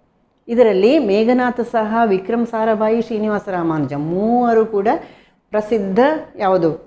ಎಜುಕೇಷನಿಗೆ ಸಂಬಂಧಪಟ್ಟವರು ಅಥವಾ ಮೇಘನಾಥ್ ಸಹ ಅವರು ಖಗೋಳಶಾಸ್ತ್ರಜ್ಞರು, ವಿಕ್ರಮ್ ಸಾರಾಭಾಯಿಯು ಹಾಗೆ, ಶ್ರೀನಿವಾಸ ರಾಮಾನುಜಂ ಅವರು ಪ್ರಸಿದ್ಧವಾದ ಗಣಿತಶಾಸ್ತ್ರಜ್ಞರು. ಹಾಗಾದರೆ ಸಿ. ಸುಬ್ರಹ್ಮಣ್ಯಂ, ಚಿದಂಬರಂ. ನಿಮ್ಮ, ನಮ್ಮ ಫೈನಾನ್ಸ್ ಮಿನಿಸ್ಟರ್ ಆಗಿದ್ದರಲ್ಲ ಅವರ ಬಗ್ಗೆನೇ ಹೇಳಿದ್ದಿಲ್ಲಿ ಸಿ. ಸುಬ್ರಹ್ಮಣ್ಯಂ ಅಂದರೆ ಇವರು ಪೊಲಿಟಿಷಿಯನ್ ಆಗಿದ್ದವರು. ಹಾಗಾಗಿ ಗುಂಪಿಗೆ ಸೇರದ ಪದ ಸಿ. ಸುಬ್ರಹ್ಮಣ್ಯಂ ಆಗ್ತದೆ. ಇಂದಿರಾ ಗಾಂಧಿ ಒಳಾಂಗಣ ಕ್ರೀಡಾಂಗಣ ಎಲ್ಲಿದೆ? ಕಲ್ಕತ್ತಾ, ಮುಂಬೈ, ಕಾನ್ಪುರ, ದೆಹಲಿ. ಎಲ್ಲಿ? ದೆಹಲಿಯಲ್ಲಿರುವಂಥದ್ದು ಇದು. ವಿಶ್ವ ಏಡ್ಸ್ ದಿನವನ್ನು ಎಂದು ಆಚರಿಸಲಾಗ್ತದೆ. ಇದು ಕೂಡ ನನ್ನ ಕಳೆದ ವಿಡಿಯೋದಲ್ಲಿ ಬಂದದ್ದು. ಹಾಗಾಗಿ ಇದು ರಿಪೀಟ್ ಆಗುವಂತಹ ಪ್ರಶ್ನೆ ಅಂತ ಆಯಿತು. ಇಲ್ಲಿ ಏಡ್ಸಿನ ಬಗ್ಗೆ ಇದು ಎರಡನೇ ಪ್ರಶ್ನೆ ಬಂದದ್ದು ನೋಡಿ. ಇಲ್ಲಿ ಯಾವಾಗ? ಏಡ್ಸ್ ದಿನಾಚರಣೆ ಡಿಸೆಂಬರ್ ಒಂದು. ನಾತೋಲ ಯಾವ ರಾಜ್ಯದಲ್ಲಿದೆ? ಪಶ್ಚಿಮ ಬಂಗಾಳ, ಉತ್ತರಾಂಚಲ, ಅರುಣಾಚಲ ಪ್ರದೇಶ, ಸಿಕ್ಕಿಂ. ಇದು ಯಾಕೆ ಈ ವಿಶೇಷವಾಗಿ ನಾತೋಲ ಪ್ರದೇಶವನ್ನು ಹೇಳಿದ್ದು ಯಾಕೆ ಅಂದರೆ ಇದು ಇಲ್ಲಿ ಸಿಕ್ಕಿಮಿನಲ್ಲಿರುವುದು ಸಿಕ್ಕಿಂ ಸಿಕ್ಕಿಂ ಚೀನಾಕ್ಕೆ ಕಂಬೈನ್ ಮಾಡುವಂತಹ ಒಂದು ಪ್ರದೇಶ ಆಗಿದೆ ಅದು. ಅಂದರೆ ಅಲ್ಲಿ ಅವು, ಅದು ಅವುಗಳೆರಡರ ಮಧ್ಯದಲ್ಲಿ ಒಂದು ಇರುವಂತಹ ಪ್ರದೇಶ ಆದ ಕಾರಣ ಅದನ್ನು ಇಲ್ಲಿ ವಿಶೇಷವಾಗಿ ಹೇಳಿದ್ದು ನಾತೋಲ ಪ್ಲೇಸ್ ಅದು. ನಾಯಿ ಮರಿ ನಾಯಿ ಮರಿ ತಿಂಡಿ ಬೇಕೇನೋ ಮಕ್ಕಳ ಪದ್ಯವನ್ನು ಬರೆದವರು ಯಾರು? ಬಹಳ ಇಷ್ಟವಾದಂತಹ ಹಾಡು ಇದು. ಎಲ್ಲರಿಗೂ ತುಂಬ ಇಷ್ಟವಾಗುವಂತಹ ಹಾಡು. ಆದರೆ ಬರೆದದ್ದು ಯಾರು ಅಂತ ತುಂಬ ಸಲ ಕನ್ಫ್ಯೂಸ್ ಆಗ್ತದೆ ನಮಗಲ್ವಾ? J P Rajaratnam. ಬ್ರಹ್ಮ ನಿಂಗೆ ಜೋಡಿಸ್ತೀನಿ ಹೆಂಡ ಮುಟ್ಟಿದ ಕೈನ ಇದು ಕೂಡ ತುಂಬ ಫೇಮಸ್ ಆದಂತಹ ಹಾಡು. ಇದನ್ನು ಬರೆದವರು ಕೂಡ ಯಾರು? ರಾಜರತ್ನಮೇ ವಿಜ್ಞ, ವಿಜ್ಞಾನ ಪ್ರಪಂಚ ವಿಶ್ವಕೋಶದ ಪ್ರಧಾನ ಸಂಪಾದಕರು ಯಾರು? ಇದು ಅತ್ಯಂತ ವಿಶಿಷ್ಟವಾದಂಥ ವ್ಯಕ್ತಿತ್ವ ಇರುವಂಥವರು ಏನಿವರು ಯಾವ ಸೈಂಟಿಸ್ಟು ಅಲ್ಲ, ಏನೂ ಅಲ್ಲ. ಆದರೆ ಅವರು ವಿಜ್ಞಾನ ಪ್ರಪಂಚ ಪುಸ್ತಕಗಳನ್ನು ಬರೆದಿದ್ದಾರೆ. ಆ ಪುಸ್ತಕಗಳನ್ನು ಓದಿ ನೀವು ಎಷ್ಟು ಸರಳವಾಗಿ, ಎಷ್ಟು ಚೆನ್ನಾಗಿ, ಎಷ್ಟು ಡೀಪಾಗಿ ಅದರ ವಿಷಯಗಳು ಇದೆ. ಯಾರು ಬರೆದದಿದನ್ನು ಕೋಟ ಶಿವರಾಮ ಕಾರಂತರು. ಚಿಕ್ಕೋಡಿ ತಾಲೂಕು ಯಾವ ಬೆಳೆಗೆ ಹೆಸರುವಾಸಿಯಾಗಿದೆ? ಬಹಳ ವಿಶೇಷವಾದದ್ದು ಅಲ್ಲಿ ಯಾವುದು? ಚಿಕ್ಕೋಡಿಯಲ್ಲಿ ಬೆ, ಸಕ್ಕರೆ, ಬೆಲ್ಲ ಎಲ್ಲ ಮಾಡುವಂಥದ್ದು, ಬೆಲ್ಲ ಮಾಡುವಂಥದ್ದು, ಸಕ್ಕರೆ ಮಾಡುವಂಥದ್ದು. ಹಾಗಾಗಿ ಅಲ್ಲಿ ಕಬ್ಬು ಹೆಚ್ಚು ಬೆಳೀತಾರೆ. ಸೈಲ್, ಸೈಂಟ್ ಮೇರಿ ಐಲ್ಯಾಂಡ್, ಬಹಳ ಚಂದವಾದಂತಹ ಬಸಾಲ್ಟ್ ಶಿಲೆಯಲ್ಲಿ ಇರುವಂತಹ ಒಂದು ದ್ವೀಪ. ಖಂಡಿತವಾಗಿ ನೀವು ನೋಡಬೇಕಾದ ದ್ವೀಪ ಎಲ್ಲಿದೆ ಅಂತ ಕೇಳಿದ್ದಾರೆ. ಯಾವ ಜಿಲ್ಲೆಯಲ್ಲಿದೆ? ದಕ್ಷಿಣ ಕನ್ನಡ, ಉಡುಪಿ, ಉತ್ತರ ಕನ್ನಡ ಯಾವುದೂ ಅಲ್ಲ. ಇಲ್ಲಿ ಆನ್ಸರ್ ಯಾವುದು? ಉಡುಪಿ. ಮಲ್ಪೆಯಿಂದ ನೀವು ಒಳಗಡೆಗೆ ಹೋದರೆ ನಿಮಗೆ ಬೋಟಲ್ಲೆಲ್ಲ ಹೋಗಲಿಕ್ಕೆ ಇರ್ತದೆ. ತುಂಬ ಚೆನ್ನಾಗಿದೆ. ಹೋಗಿ. ಬಸ್ಸುಗಳನ್ನು ತಯಾರಿಸುವ ಓಲ್ವೋ ಸಂಸ್ಥೆ ಯಾವ ದೇಶಕ್ಕೆ ಸೇರಿದೆ? ಓಲೋ ಬಸ್ಸಲ್ಲಿ ಎಲ್ಲರೂ ಹೋಗಿದ್ದೇವೆ. ಅದು ಎಲ್ಲಿ ತಯಾರಾಗಿದೆ? ಅದರ ಮೂಲ ಎಲ್ಲಿ? ಅದನ್ನು ನಾವು ಯಾವತ್ತೂ ಆಲೋಚನೆಯೇ ಮಾಡಿಲ್ಲ. ಇಲ್ಲಿ ಪ್ರಶ್ನೆ ಕೇಳಿದ್ದಾರೆ. ನೋಡಿ, ಸ್ವೀಡನ್ನಿನಲ್ಲಿ ಸಾವಿರದ ಒಂಬೈನೂರ ಇಪ್ಪತ್ತ ಏಳರಲ್ಲಿ ಇದು ಸಂಸ್ಥೆ ಸ್ಥಾಪನೆಯಾಗಿದೆ ಎಷ್ಟು ಬೇಗ ಆಗಿದೆ ನೋಡಿ. ಕರ್ನಾಟಕದ ಈ ನಗರದಲ್ಲಿ ಪೊಲೀಸ್ ಕಮಿಷನರೇಟ್ ವ್ಯವಸ್ಥೆ ಇಲ್ಲ. ಮೈಸೂರು, ಹುಬ್ಬಳ್ಳಿ, ಧಾರವಾಡ, ಬೆಂಗಳೂರು, ಮಂಗಳೂರು. ಇಲ್ಲಿ ಇದು ಎರಡು ಸಾವಿರದ ಎಂಟರ ಪ್ರಶ್ನೆ ಪ್ರತಿ ಪತ್ರಿಕೆ. ನಾನು ಆಗಲೇ ಹೇಳಿದೆ, ಇಲ್ಲಿ ಮೈಸೂರಲ್ಲಿ ಇದೆ, ಹುಬ್ಬಳ್ಳಿ, ಧಾರವಾಡದಲ್ಲಿ ಬೆಂಗಳೂರಲ್ಲಿ ಇದೆ. ಆಗ ಆ ಎರಡು ಸಾವಿರದ ಎಂಟರಲ್ಲಿ ಇಲ್ಲಿ ಮಂಗಳೂರಲ್ಲಿ ಇರಲಿಲ್ಲ. ಆದರೆ ಎರಡು ಸಾವಿರದ ಒಂಬತ್ತರಲ್ಲಿ ಮಂಗಳೂರಲ್ಲಿ ಕೂಡ ಆಗಿದೆ. ಹಾಗಾಗಿ ಈ ಥರದ ಪ್ರಶ್ ಈ ಪ್ರಶ್ನೆಯನ್ನು ನಿರೀಕ್ಷೆ ಮಾಡಬೇಕು ಅಂತ ಇಲ್ಲ. ರಸ್ತೆ ನಿಯಮ ಉಲ್ಲಂಘನೆ ಮಾಡಿದ ಸ್ಕೂಟರ್ ಸವಾರನೊಬ್ಬನನ್ನು ಟ್ರಾಫಿಕ್ ಕಾನ್ಸ್ಟೇಬಲ್ ತಡೆದು ನಿಲ್ಲಿಸಿದ. ಆಗ ಅವನೇನು ಮಾಡಿದ್ದಾನೆ? ಪೊಲೀಸನಿಗೆ ಕಪ್ಪಾಳಕ್ಕೆ ಹೊಡೆದಿದ್ದಾನೆ. ಸ್ಥಳದಲ್ಲಿ ನೀವು ಇದ್ರಿ, ನೀವು ಏನು ಮಾಡ್ತೀರಿ ಆ ಸಂದರ್ಭದಲ್ಲಿ ಅಂತ. ಆಪ್ಷನ್ ಎ ಕಾನ್ಸ್ಟೇಬಲ್ನ ರಕ್ಷಣೆಗೆ ಧಾವಿಸ್ತೀರಿ. ಆಪ್ಷನ್ ಬಿ ಸ್ಕೂಟರ್ ಸವಾರನ ಜೊತೆಗೆ ಶಾಮೀಲಾಗಿ ನೀವು ಎರಡು ಏಟು ಹೊಡಿತೀರಿ. ಇಲ್ಲ ಸಲದ ಗೊಡವೆ ನಮಗೆ ಯಾಕೆ ಅಂತ ಜಾಗ ಖಾಲಿ ಮಾಡ್ತೀರಿ. ನಿಮ್ಮ ಮೊಬೈಲ್ ಫೋನಿಂದ ಪೊಲೀಸ್ ಕಂಟ್ರೋಲ್ ರೂಮಿಗೆ ವಿಷಯ ತಿಳಿಸುತ್ತೀರಿ. ಇಲ್ಲಿ ನೀವು ಫಸ್ಟ್ ಮಾಡಬೇಕಾದ್ದೇನು? ಪೊಲೀಸನ್ನು ರಕ್ಷಣೆ ಮಾಡಿ. ಫಸ್ಟಿಗೆ ರಕ್ಷಣೆಗೆ ನೀವು ಧಾವಿಸಬೇಕಾಗ್ತದೆ. ಅದು ಆಗದೇ ಇದ್ದಾಗ ನೀವು ನಿಮ್ಮ ಕಂಟ್ರೋಲಿಗೆ ಬರಲಿಲ್ಲ ಅಂತಾದರೆ ನೀವು ಆಗ ಏನು ಮಾಡಬೇಕು ಮೊಬೈಲ್ ಫೋನಿಂದ ಪೊಲೀಸ್ ಕಂಟ್ರೋಲ್ ರೂಮಿಗೆ ವಿಷಯ ತಿಳಿಸ್ಬೋದು. ಹಾಗಾಗಿ ಫಸ್ಟ್ ಆಪ್ಷನ್ ಯಾವುದು? ಕಾನ್ಸ್ಟೇಬಲ್ ರಕ್ಷಣೆಗೆ ಧಾವಿಸಬೇಕು. ಅಲ್ಲಿ ಆಫರ್ ಫೈಟಿಂಗ್ ಆಗುವಾಗ ಅದನ್ನು ನಿಲ್ಲಿಸುವುದು ಪ್ರಮುಖ ಕರ್ತವ್ಯ ಯಾರದ್ದಾದರೂ. ಭೂಮಿಯಿಂದ ನಕ್ಷತ್ರಕ್ಕೆ ಇರುವ ದೂರವಂತು ದೂರವನ್ನು ಅಳೆಯುವ ಮಾನ. ಭೂಮಿಯಿಂದ ನಕ್ಷತ್ರಕ್ಕೆ ಹೇಳಿದ್ದಿಲ್ಲಿ ಅಂದರೆ ಸೂರ್ಯನಿಗೆ ಜ್ಯೋತಿರ್ವರ್ಷ ಮಾರು ಸಮುದ್ರಯಾಂದ ಮೈಲಿಗಳು ಕಿಲೋಮೀಟರ್ಗಳು. ಇಲ್ಲಿ ನಾವು ಸೂರ್ಯ ಅಂತ ಊಹಿಸಿಕೊಳ್ಬೇಕು. ಜ್ಯೋತಿರ್ವರ್ಷ ಆನ್ಸರ್ ಸುರುಳಿಯಾಕಾರದ ಸಮುದ್ರದ ಅಲೆಗಳು ಹೇಳುವುದು ಯಾವ ದಿನದಲ್ಲಿ? ಬಹುಶಃ ಇಲ್ಲಿ ಸುರುಳಿ ಅಂತ ಹೇಳಿದಿವರು ಸ್ಪ್ರಿಂಗ್ ಟೈಡನ್ನೇ ಹೇಳಿರಬೇಕು. ನಾನು ವಿಡಿಯೋಗಳನ್ನು ಹಾಕಿದ್ದೇನೆ. ಯಾವುದು ಚಂದ್ರ, ಚಂದ್ರನ ಬಗ್ಗೆ ಎಲ್ಲ ಹಾಕಿದ್ದೇನೆ ನಾನು. ಅದನ್ನು ಖಂಡಿತವಾಗಿ ನೋಡಿ. ಇಲ್ಲಿ ಸುರುಳಿ ಆಕಾರದ ಸಮುದ್ರದ ಅಲೆಗಳು ಏಳುವುದು ಅಂತ ಹೇಳಿದ್ದು ಇಲ್ಲಿ ಸ್ಪ್ರಿಂಗ್ ಟೈಡ್ ಬರುವುದು. ಅಮಾವಾಸ್ಯೆ ಮತ್ತು ಹುಣ್ಣಿಮೆ ಎಂದು ಎರಡೂ ಬರ್ತದೆ. ಆದರೆ ಅತಿ ಹೆಚ್ಚು ಇರುವಂಥದ್ದು ಅಮಾವಾಸ್ಯೆಯಲ್ಲಿ. ಅಲ್ಟ್ರಾ ವಯಲೆಟ್ ಕಿರಣಗಳನ್ನು ಹೀರಿಕೊಳ್ಳುವ ವಾತಾವರಣದಲ್ಲಿನ ಅನಿಲ ಯಾವುದು? Methane, nitrogen ozone helium. ಯಾವುದು? ಓಝೋನ್ ಪದರುಗಲ್ಲುಗಳನ್ನು ಗುರುತಿಸಿ. ಪದರುಗಲ್ಲು ಅಂದ್ರೇನು? ಕಲ್ಲು, ಪದರು ಪದರಾಗಿರುವಂತಹ ಕಲ್ಲುಗಳು ಬೇಕಾದಷ್ಟಿದೆ, ಅಲ್ವಾ? ಅದು ಯಾವ ಎರಡು ಗುಂಪು ಇದರಲ್ಲಿ ಅಂತ ಕೇಳಿದ್ದಾರೆ. ಬಸಾಲ್ಟ್. ಬಸಾಲ್ಟ್ ಅಗ್ನಿಶೀಲ್, ಇದು ಏನು, ಲಾವ ಹೊರಗೆ ಬಂದು ತಾಣದು ಉಂಟಾಗ್ತದೆ. ಸುಣ್ಣದ ಕಲ್ಲು, ಇನ್ನೊಂದು ಶೆಲ್. ಪದರು ಶಿಲೆ ಅಂತಲೇ ನಾವು ಕನ್ನಡದಲ್ಲಿ ಪದರು ಶಿಲೆ ಅಂತಲೇ ಹೇಳ್ತೇವೆ. ಗ್ರಾನೈಟ್. ಗ್ರಾನೈಟ್ ಅಲ್ಲ. ಹಾಗಾದರೆ ಆನ್ಸರ್ ಯಾವುದು ನಿಮ್ಮದು? ಸುಣ್ಣದ ಕಲ್ಲು ಮತ್ತು ಪದರು ಶಿಲೆ ಯಾವುದು? ಬಿ ಮತ್ತು ಸಿ ಆನ್ಸರ್. ತೇವಾಂಶವನ್ನು ಅಳೆಯಲು ಬಳಸುವ ಸಾಧನ. ಕಳೆದ ವಿಡಿಯೋದಲ್ಲೂ ಹೇಳಿದೆ, ಹೆಚ್ಚಿನ ವಿಡಿಯೋಗಳಲ್ಲಿ ಇದೊಂದು ಕೇಳೇ ಕೇಳುತ್ತಾರೆ. ಒಂದು ಬ್ಯಾರೋಮೀಟ್ರು ಇಲ್ಲ, ಥರ್ಮಾಮೀಟ್ರ್ ಇಲ್ಲ, ಹೈಗ್ರೋಮೀಟ್ರ್ ಇಲ್ಲ, ಹೈಡ್ರೋಮೀಟ್ರ್. ಯಾವಾಗಲೂ ಕೇಳುವಂಥದ್ದು ಆನ್ಸರ್ ಯಾವುದು? ಇಲ್ಲಿ ಹೈಗ್ರೋಮೀಟರು, ಥರ್ಮಾಮೀಟ್ರ್ ಉಷ್ಣತೆಯನ್ನು ನೋಡಲಿಕ್ಕಿರುವಂಥದ್ದು. ಉಳಿದದ್ದು ಕಳೆದ ವಿಡಿಯೋದಲ್ಲಿ ಹೇಳಿದೆ ನಾನು. ಪ್ರಪಂಚದ ಅತಿ ದೊಡ್ಡ ಮೀನಿನ ಉತ್ಪಾದಕ ಸ, ರಾಷ್ಟ್ರ. ಮೀನು ಹೆಚ್ಚು ಮೀನುಗಾರಿಕೆ ಅತಿ ಹೆಚ್ಚು ಇರುವಂಥದ್ದು ಅಥವಾ ಮೀನು ಉತ್ಪಾದನೆ ಕೂಡ ಮಾಡುವಂಥದ್ದು, ಕೃತಕವಾಗಿ ಉತ್ಪಾದನೆ ಮಾಡುವಂಥದ್ದು ಎಲ್ಲಿ ಹೆಚ್ಚು ಅಂತ. China, Russia, Japan, Norway. ಯಾವುದು ನಿಮ್ಮ ಆನ್ಸರ್ ಚೀನಾ. ರೇಬಿಸಿನಿಂದ ತೊಂದರೆಗೊಳಗಾಗುವುದು. ಇಲ್ಲಿ ಆಪ್ಷನ್ ಕೊಟ್ಟಿದ್ದಾರೆ. ಮೇಕೆ, ದನಗಳು, ತೋಳಗಳು, ಎಲ್ಲ ಪ್ರಾಣಿಗಳು. ಎಲ್ಲ ಪ್ರಾಣಿಗಳಿಗೆ ನಮಗೂ ಕೂಡ ರೇಬಿಸ್ ಹುಚ್ಚು ನಾಯಿ ಕಚ್ಚಿದ್ರೆ ನಮಗೂ ಬರ್ತದೆ. ತೆಂಗಿನ ಅತಿ ದೊಡ್ಡ ಉತ್ಪಾದಕ ರಾಜ್ಯ ಯಾವುದು? ಇದು ಸ್ವಲ್ಪ ನಿಮಗೆ ಕನ್ಫ್ಯೂಸಿಂಗ್ ಆಗ್ತದೆ. ಇಲ್ಲಿ ಉತ್ಪಾದನೆ, ನಾನು ಇದಕ್ಕಿಂತ ಮೊದಲನೇ ಒಂದು ವಿಡಿಯೋದಲ್ಲಿ ಹೇಳಿದ್ದೇನೆ. ಯಾವಾಗಲೂ ನಾವು ಉತ್ಪಾದನೆಯನ್ನು ಹೇಳೋದು ಹೇಗೆ? ಕಡಿಮೆ ಜಾಗದಲ್ಲಿ ಹೆಚ್ಚು ಬೆಳೆ ಬರೋದು ಇದನ್ನು ನಾವು ಏನು ಅಂತ ತಗೊಳ್ಬೇಕು ಹೆಚ್ಚು ಉತ್ಪಾದಕ ಪ್ರದೇಶ ಅಂತ ತಗೊಳ್ಬೇಕು ಹಾಗೆ ನೋಡುವಾಗ ನಮಗೆ ಫಸ್ಟ್ ಪ್ಲೇಸಲ್ಲಿ ಯಾವುದು ಬರ್ತದೆ? ತಮಿಳುನಾಡು ಬರ್ತದೆ. ತಮಿಳುನಾಡಿನ ನೆಕ್ಸ್ಟ್ ಆಂಧ್ರ ಪ್ರದೇಶ ಬರ್ತದೆ. ಕೇರಳ ಬರೋದು ಮತ್ತೆ. ಯಾಕಂದರೆ ಕೇರಳದಲ್ಲಿ ಬಹಳ ಹೆಚ್ಚು ಜಾಗದಲ್ಲಿ ಮಾಡ್ತಾರೆ. ಏರಿಯಾ ಜಾಸ್ತಿ ಇದೆ, ಆದರೆ ಅವರ ಪ್ರೊಡಕ್ಷನ್ ತಮಿಳುನಾಡಿನ ಅರ್ಧಾಂಶದಷ್ಟು ಮಾತ್ರ. ಹಾಗಾಗಿ ಆನ್ಸರ್ ಯಾವುದು? ತಮಿಳುನಾಡು ಆಗ್ತದೆ ಇಲ್ಲಿ. ಕುಂದ ಜಲವಿದ್ಯುತ್ ಯೋಜನೆ ಅನುಷ್ಠಾನಗೊಳಿಸಿರುವಂತಹ ರಾಜ್ಯ ಯಾವುದು? ಕುಂದ ಜಲವಿದ್ಯುತ್ ಯೋಜನೆ ಎಲ್ಲಿದು? ನೀಲಗಿರೀಸ್ ತಮಿಳುನಾಡಲ್ಲಿ ಇರುವಂಥದ್ದು. ಶಕವರ್ಷದ ಪ್ರಕಾರ ರಾಷ್ಟ್ರೀಯ ಕ್ಯಾಲೆಂಡರಿನ ಕೊನೆಯ ತಿಂಗಳು ಯಾವುದು? ಸಣ್ಣದಿರುವಾಗ ಸ್ವಲ್ಪ ಬಾಯ್ಪಾಠ ಹೊಡಿಸಿದಾರಲ್ಲ, ಅದು ತಕ್ಷಣ ನಿಮಗೆ ನೆನಪಿಗೆ ಬರಬೇಕು. ಯಾವುದು? ಫಾಲ್ಗುಣ. ಹಾಗಾದರೆ ಒಂದು ಸತಿ ನೋಡಿ ಬಿಡುವ. ನಿಮಗೆ ಕೆಲವರಿಗೆ ಮರ್ತು ಹೋಗಿದ್ರೆ. ಚೈತ್ರ, ವೈಶಾಖ, ಜ್ಯೇಷ್ಠ, ಆಷಾಢ, ಶ್ರಾವಣ, ಭಾದ್ರಪದ, ಆಶ್ವೀಜ, ಕಾರ್ತಿಕ ಮಾರ್ಗಶಿರ ಪುಷ್ಯ, ಮಾಘ, ಪಾಲ್ಗುಣ. ಇದರ ಜೊತೆಗೆ ನಿಮಗೆ ಇನ್ನೊಂದು ನೆನಪಾಗಬೇಕು. ಯಾವುದು? ಆರು ಋತುಗಳಾಗಿ ವಿಂಗಡಿಸಿದ್ದಾರೆ. ನಮ್ಮ ಹಳೆಯ ಕಾಲದಲ್ಲಿ. ಈಗ ನಮಗೆ ಋತುಗಳಲ್ಲಿ ಬೇಸಿಗೆ ಮತ್ತು ಮಳೆಗಾಲ ಮಾತ್ರ ಕಂಡ ಹಾಗೆ ಆಗ್ತದೆ. ಹೇಗೆ ಮಾಡಿದ್ದಾರೆ ಚೈತ್ರ ವೈಶಾಖ, ವಸಂತ ಋತು, ಜ್ಯೇಷ್ಠ, ಆಷಾಢ, ಗ್ರೀಷ್ಮ ಋತು, ಶ್ರಾವಣ ಭಾದ್ರಪದ ವರ್ಷ ಋತು ಆಶ್ವೀಜ ಕಾರ್ತಿಕ ಶರದ್ ಋತು, ಮಾರ್ಗಶಿರ, ಪುಷ್ಯ, ಹೇಮಂತ ಋತು, ಮಾಘ, ಪಾಲ್ಗುಣ, ಶಿಶಿರ ಋತು ಅಂತ ಮಾಡಿಟ್ಟಿದ್ರು ಮೊದಲಿನವರು ಅಂದರೆ ಆರು ಋತುಗಳಾಗಿ ಆಗ ವಿಂಗಡಿಸುವ ಹಾಗಿತ್ತು. ಈಗ ವಾತಾವರಣ ಬದಲಾಗಿದೆ ಅಲ್ವಾ? ನೆಕ್ಸ್ಟ್ ವರ್ಡ್ ಪ್ರೊಸೆಸಿಂಗ್ ವ್ಯವಸ್ಥೆಗೆ ಬಳಸುವ ಸಾಧನ. ವರ್ಡ್ ಪ್ರೊಸೆಸಿಂಗ್ ಕಂಪ್ಯೂಟ್ರಿಗೆ ಬಗ್ಗೆ ಇದು. Floppy disk magnetic card reader C R T ಮೇಲಿನ ಎಲ್ಲವು. ಇದರಲ್ಲಿ ಆ್ಯಕ್ಚುಲಿ ಮೇಲಿನ ಎಲ್ಲವೂ ಆಗ್ತದೆ. ಇದರಲ್ಲಿ ಸಿ ಆರ್ ಟಿ ಹೇಳಿದ್ದು ಯಾವುದನ್ನು cathode ray tube cathode ray tube ನೀವು ಕಂಪ್ಯೂಟರ್ ಆನ್ ಮಾಡಿದ ಕೂಡ ಒಂದು ಬೆಳಕು ಬರ್ತದಲ್ಲ, ಅದಕ್ಕೆ ಕಾರಣ ಕ್ಯಾಥೋಡ್ ರೇ ಟ್ಯೂಬ್ ಹಾಗಾಗಿ ಮೇಲಿನ ಎಲ್ಲವೂ ಕೂಡ ಆಗ್ತದೆ. ಎಂ ಎಸ್ ಡಾಸ್ ಇದು ಏನು ಅಂತ ಕೇಳಿದ್ದು? ಅನ್ವಯಿಕ ಸಾಫ್ಟ್ವೇರ್ ಹಾರ್ಡ್ವೇರ್ ತಂತ್ರಾಂಶ system software E R P software ಅಂತ ಕೇಳಿದ್ದಾರೆ. ಇದು ಈಗಿನ ಕಂಪ್ಯೂಟರ್ಗಳಲ್ಲಿಲ್ಲ ಕೆಲವು ವರ್ಷಗಳ ಹಿಂದೆ ಅಥವಾ ಸ್ಟಾರ್ಟಿಂಗಲ್ಲಿ ನಾವು ಇಂಡಿಯಾದಲ್ಲಿ ಬಳಸಲಿಕ್ಕೆ ಪ್ರಾರಂಭ ಮಾಡುವಾಗ ಇದು ಇದ್ದದ್ದು. ಇದು ಆಪ್ರೇಟಿಂಗ್ ಸಿಸ್ಟಮ್ ಆ್ಯಕ್ಚುಲಿ ಯಾವುದು? ಎಂ ಎಸ್ ಡಾಸ್ ಈಗ ಇಲ್ಲ. ಇನ್ನು ಅನ್ವಯಿಕ ಸಾಫ್ಟ್ವೇರ್ ಅಂತ ಇದಕ್ಕೆ ಇನ್ನೊಂದು ಪ್ರಶ್ನೆ ಕೇಳ್ಬೋದು. ಪಿ ಪಿ ಟಿ ಇನ್ನು ವರ್ಡ್ ಇದನ್ನೆಲ್ಲ ಯಾವುದಕ್ಕೆ, ಯಾವುದರಲ್ಲಿ ಬರ್ತದೆ ಅಂತ ಏನಾದರೂ ಕೇಳ್ಬೋದು. ಅಂಥ ಸಂದರ್ಭದಲ್ಲಿ ಅದು ಅನ್ವಯಿಕ ಸಾಫ್ಟ್ವೇರಿಗೆ ಬರ್ತದೆ. ಅದು ಕೂಡ ಎಕ್ಸ್ಪೆಕ್ಟ್ ಮಾಡುವಂತಹ ಪ್ರಶ್ನೆ. ಈ ಕೆಳಗಿನವುಗಳಲ್ಲಿ ಯಾವುದನ್ನು ಯುರೋಪಿನ ಆಟದ ಮೈದಾನವೆಂದು ಕರೆಯುತ್ತಾರೆ. ಇಲ್ಲಿ ಆಟದ ಮೈದಾನ ಹೇಳಿದರೆ ಅಲ್ಲಿ ಪ್ಲೇಗ್ರೌಂಡ್ ಅಂತ ಅರ್ಥದಲ್ಲಿ ಅಲ್ಲ.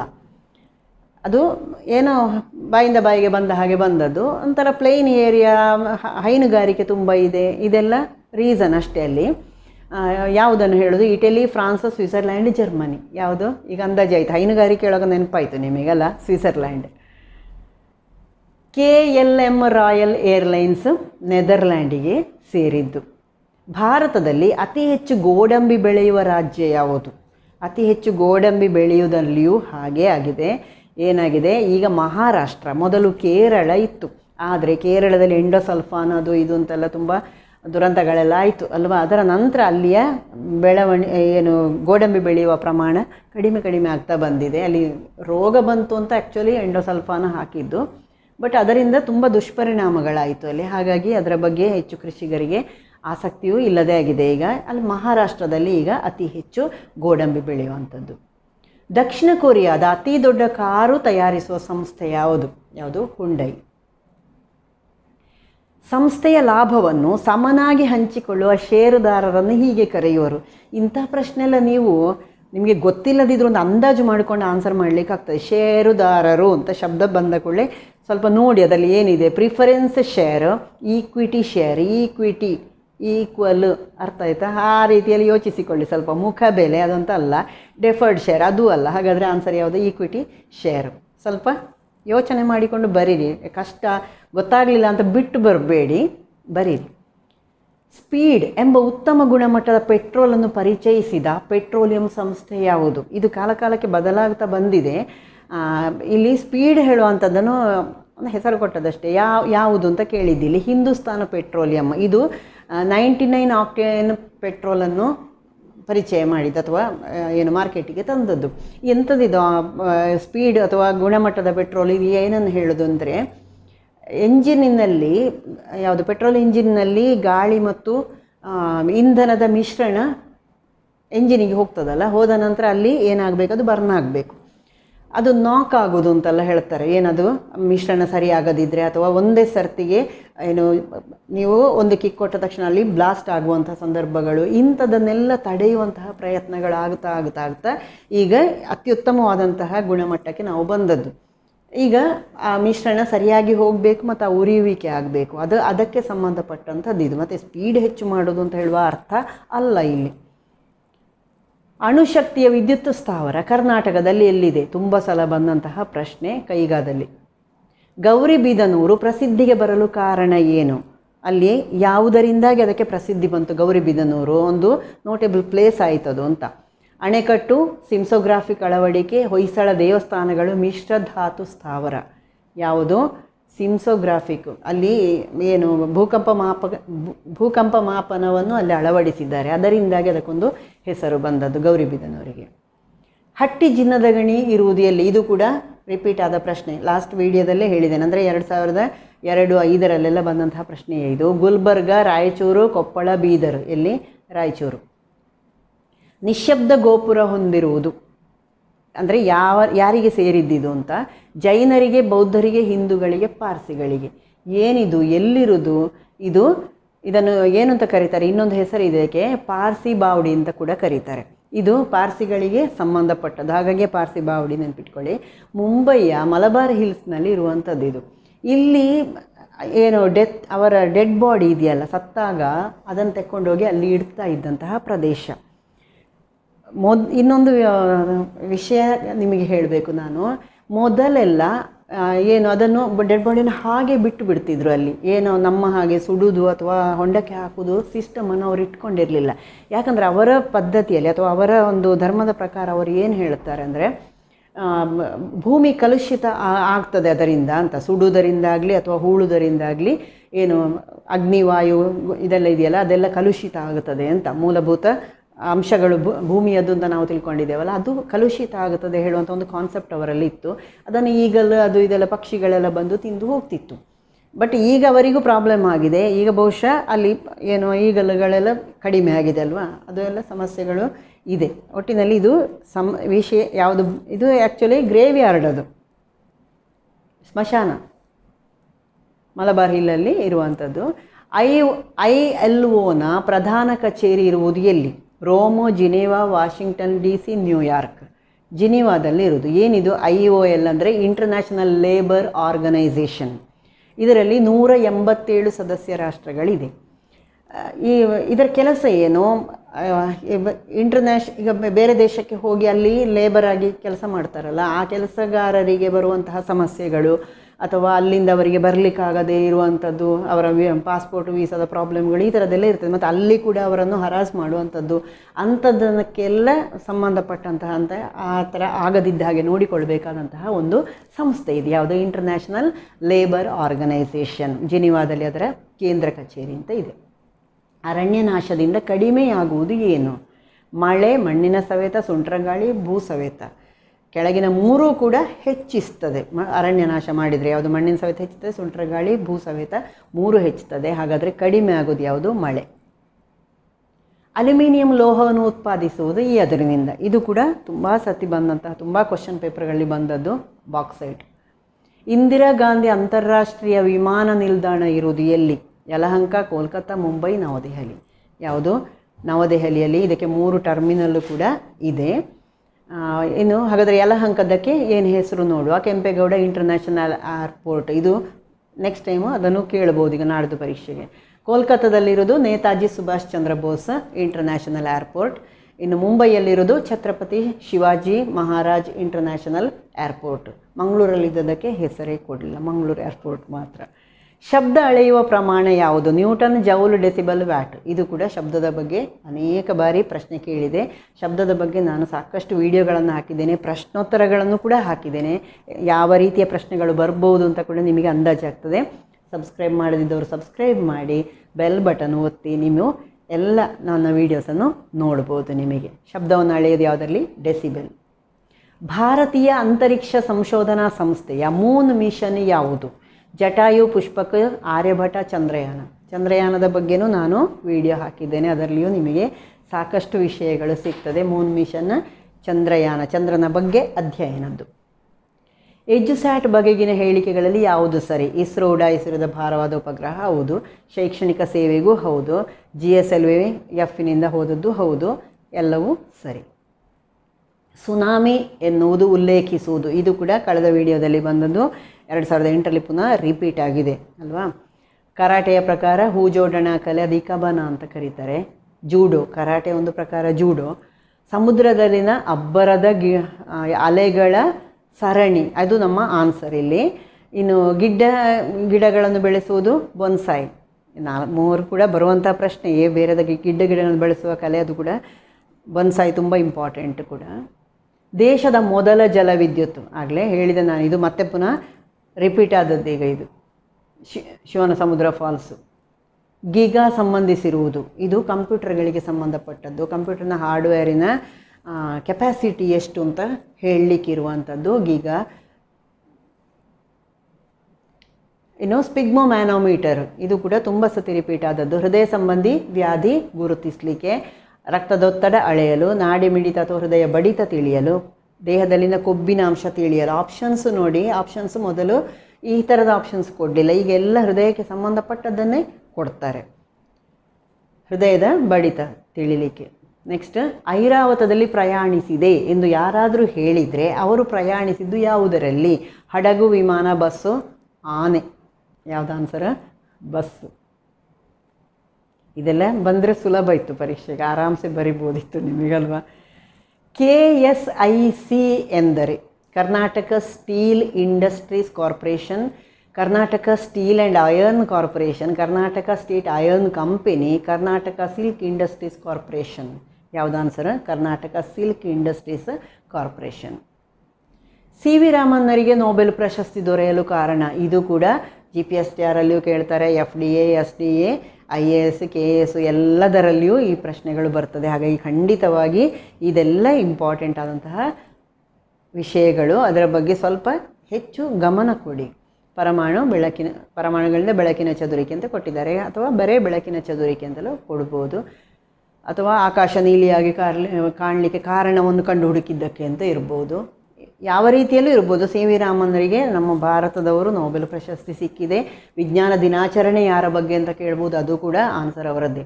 ನೆಕ್ಸ್ಟ್ ಯುನೈಟೆಡ್ ನೇಷನ್ಸಲ್ಲಿ ಮಕ್ಕಳ ವಿಷಯವಾಗಿರುವಂತಹ ನಿಯೋಗ ಯುನಿಸೆಫ್ ತುಂಬ ಇಂಪಾರ್ಟೆಂಟ್ ಇದು ಕೂಡ. ಮಕ್ಕಳ ಹಕ್ಕುಗಳಿಗಾಗಲಿ ಅಥವಾ ಮಕ್ಕಳಿಗೆ ಸಮಸ್ಯೆಗಳು ಬಂದಾಗ ಇರ್ಬೋದು ಅಥವಾ ಮಕ್ಕಳಿಗೆ ಏನು ಬೇಕು ಅದರ ಬಗ್ಗೆ ಇರ್ಬೋದು. ಯುನಿಸೆಫ್ ತುಂಬ ಜಾಗರೂಕತೆ ಮಾಡ್ತದೆ. ಯುನಿಸೆಫ್ ಒಂದು ದೊಡ್ಡ ಸಂಸ್ಥೆ. ಮುಂದಿನ ಪ್ರಶ್ನೆ ಕೆಳಗಿನ ಯಾವುದು? ಚಹಾ ಎಲೆ ಸಂಸ್ಕರಣೆಗೆ ಪ್ರಮುಖವಾದುದಲ್ಲ. ಚಹಾ ಎಲೆಯ ಸಂಸ್ಕರಣೆ ಅಂದ್ರೇನು ಚಹಾದ ಗಿಡದಿಂದ ಎಲೆಯನ್ನು ತೆಗೆದ ನಂತರ ಅದನ್ನು ಹೇಗೆ ಪ್ರೊಸೆಸಿಂಗ್ ಮಾಡ್ತಾರೆ ಅಂತ. ನಮಗದು ಪೌಡರ್ ಆಗಿಯೋ ಅಥವಾ ಲೀಫ್ ಒಣಗಿದ ಲೀಫ್ ಆಗಿ ಎಲ್ಲ ಬರುವ ಮೊದಲು ಅಲ್ಲಿ ಕೆಲವು ಪ್ರೊಸೆಸಿಂಗ್ ಆಗಬೇಕು. ಅದಕ್ಕೆ ಪ್ರಕ್ರಿಯೆಗಳು ನಡಿಬೇಕು. ಅದಕ್ಕೆ ಈ ಇಲ್ಲಿ ಕೆಳಗೆ ಹೇಳಿದಂತಹ ಪ್ರಕ್ರಿಯೆಗಳಲ್ಲಿ ಯಾವುದು ಅವಶ್ಯಕತೆ ಇಲ್ಲ ಅಂತ.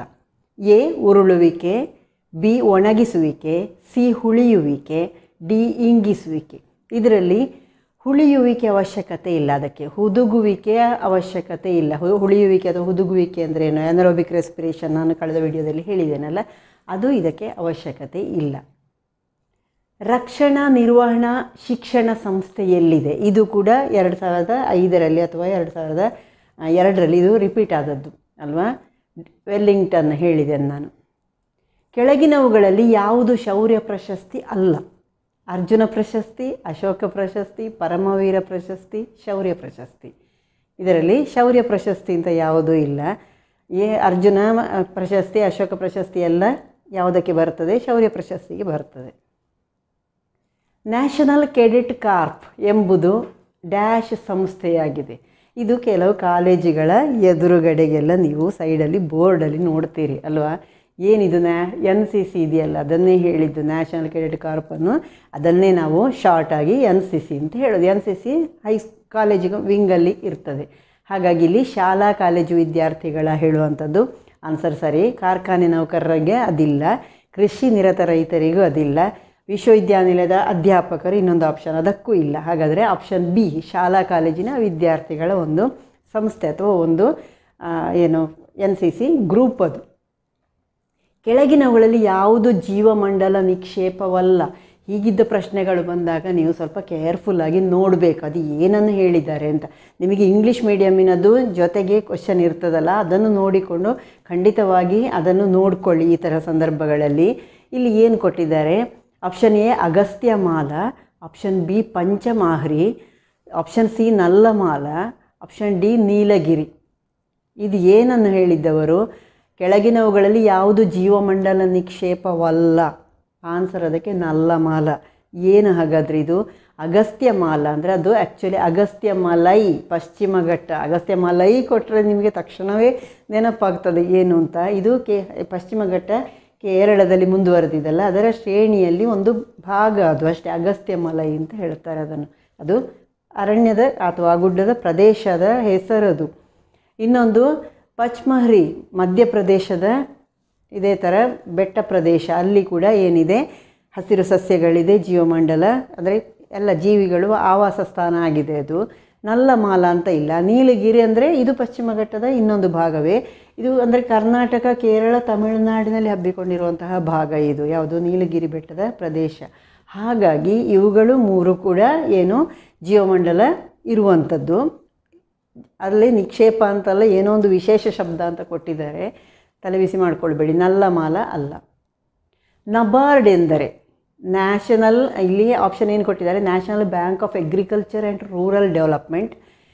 Option B, national bank for agriculture and rural development. Option C, national bureau of aeronautical research and development. Option D, national agriculture bank associated rural development. Answer ಯಾವುದು? ಇದಕ್ಕೆ ನಬಾರ್ಡ್. ಇದು ತುಂಬ ಇಂಪಾರ್ಟೆಂಟ್ ನಿಮಗೆ ಯಾವುದೇ? ನೀವು ಸಂಸ್ಥೆಗಳಲ್ಲಿ ಸೇರಿಕೊಂಡಾಗಲೂ ನಿಮಗೆ ನಬಾರ್ಡಿನ ಅನುದಾನ ಅಂತೆಲ್ಲ ನಿಮಗೆ ಬರುವಾಗದು ತುಂಬ ಇಂಪಾರ್ಟೆಂಟ್ ಅದಕ್ಕೋಸ್ಕರ ಇದರ ಬಗ್ಗೆ ಈ ಥರದ ಕ್ವಶನ್ಸ್ ಎಲ್ಲ ಕೇಳೋದು. National bank for agriculture and rural development ಇದಕ್ಕೆ ಆನ್ಸರ್ ನಬಾರ್ಡಿಗೆ.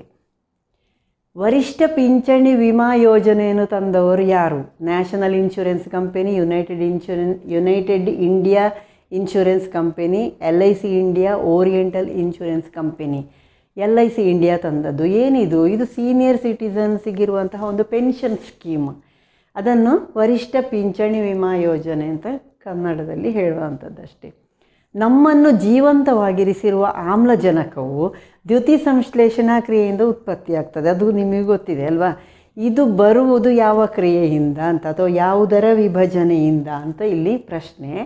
ಇಂಗಾಲದ ಡೈಆಕ್ಸೈಡಿನಿಂದ, ಮಣ್ಣಿನಿಂದ ತೆಗೆಯಲ್ಪಟ್ಟ ಇಂಗಾಲದಿಂದ, ಖನಿಜದ ಆಕ್ಸೈಡಿನಿಂದ, ನೀರಿನಿಂದ, ಯಾವುದಿದು ನೀರಿನಿಂದ, ಅಂದರೆ ಹಗಲು ಪ್ರತಿಕ್ರಿಯೆ ಮತ್ತು ಇರುಳು ಪ್ರತಿಕ್ರಿಯೆ ಅಂತ ಎರಡು ವಿಭಾಗ ಇದೆಯಲ್ಲ ದ್ಯುತಿ ಸಂಶ್ಲೇಷಣಾ ಕ್ರಿಯೆಯಲ್ಲಿ ಎರಡು ಹಂತ ಇದೆ. ಅಂದರೆ ಒಂದು ಈ ಒಂದಷ್ಟು ಪ್ರಮಾಣದ ಆಹಾರ ತಯಾರಾಗಬೇಕು ಅಂತ ಇದ್ದರೆ ಒಂದಿಷ್ಟು ಹಗಲು ಮತ್ತು ರಾತ್ರಿ ಎರಡೂ ಆಗಬೇಕು. ಅಂದರೆ ಟ್ವೆಂಟಿ ಫೋರ್ ಅವರ್ಸ್ ಅದಕ್ಕೆ ಆಗಬೇಕು.